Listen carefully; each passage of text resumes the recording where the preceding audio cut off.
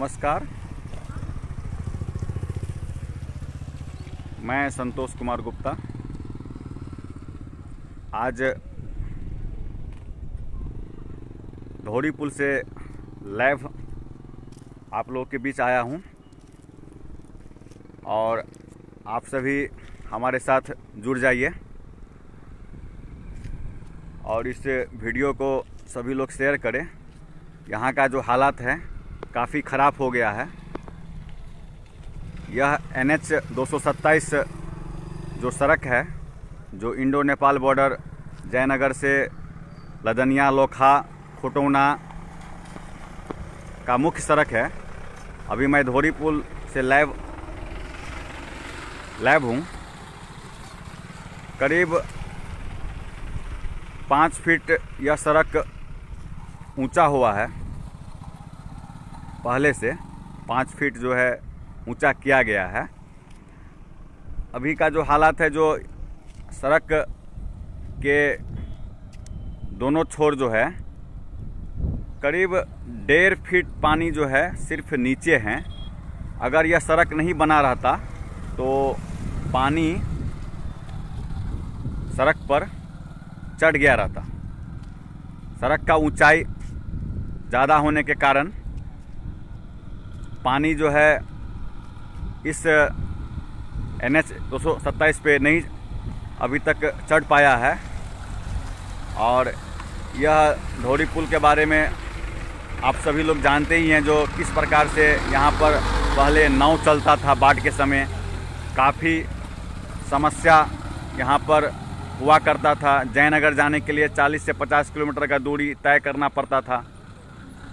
और काफ़ी परेशानी का सामना करना पड़ रहा था। हमारे मछुआरे भाई सब जो हैं,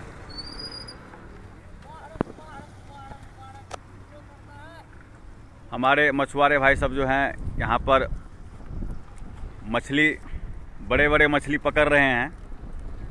और जब कभी भी बाढ़ का मौसम जो आता है तो यह सब दृश्य काफ़ी देखने को मिलता है।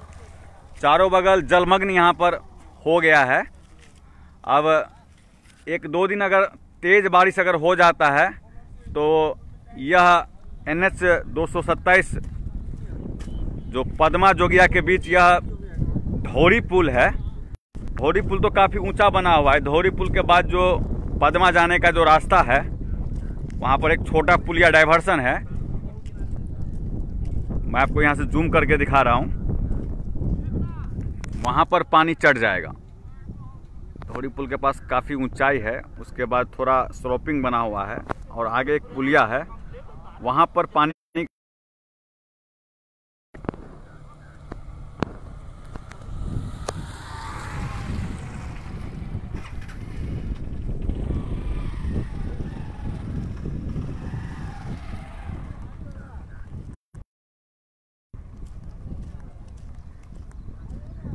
यहाँ पर काफ़ी ऊंचाई है, धोरी पुल।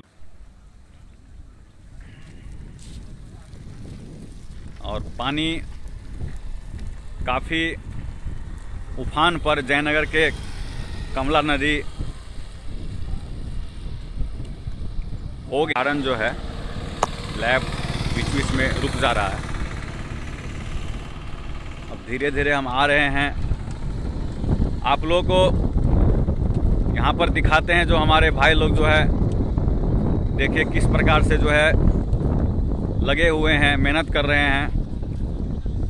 इस बार बाढ़ आएगा क्या? बाढ़ ही नहीं आएगा बाढ़ बहुत लंबा अब देखिए चाचा जी हमारे फौजी टोल निवासी जो हैं यहाँ पर आनंद ले रहे हैं। पानी काफ़ी तो चाचा तेज हो गया है देख रहे हैं।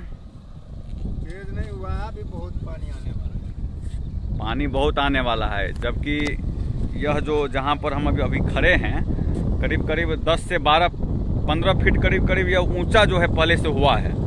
जो पहले का जो सड़क था, उससे 15 फीट ऊँचा हुआ है और इसके आगे थोड़ा स्लोपिंग है और यहाँ पर धीरे धीरे जो है पानी का जल स्तर काफ़ी बढ़ गया है।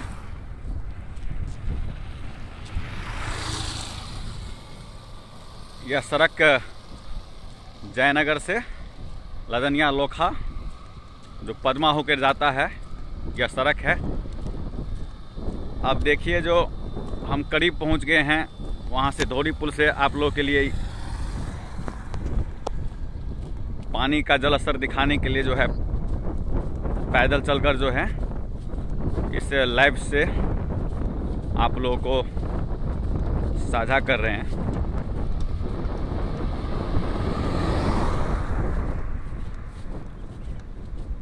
अब देखिए यहाँ पर। इससे आगे जो स्लोपिंग है, जहाँ पर गाड़ी को साफ़ किया जा रहा है, एक से डेढ़ फीट या दो फीट होगा करीब करीब बचा हुआ।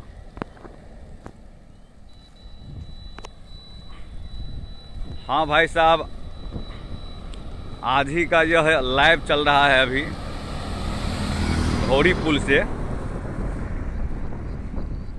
और मेरे साथ जितने भी जुड़े हुए हैं आप सभी को बहुत बहुत धन्यवाद। आप सभी इस वीडियो को शेयर करें। जो भी लोग जो गाँव से बाहर हैं, अपने गाँव से जुड़ पाएँगे। अब देखिए कितना पानी नज़दीक आ गया है। हमारे ग्रामीण यहाँ पर आनंद ले रहे हैं। गाँव गाड़ी जो है फ्री में साफ़ कर रहे हैं। ये देखिए, यह हालत है हमारे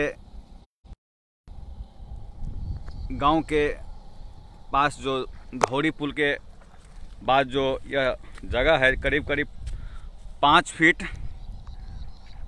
छः फीट करीब करीब कह सकते हैं जो यह रोड ऊपर बना था। अगर यह सड़क नहीं बना रहता तो आज हम बाढ़ में जो है, यहाँ पर घिर गए रहते।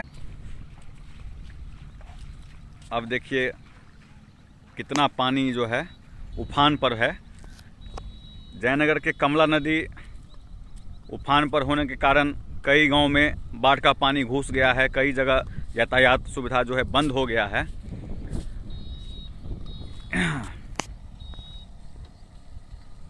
काफ़ी पानी जो है, तेज़ी से बढ़ रहा है।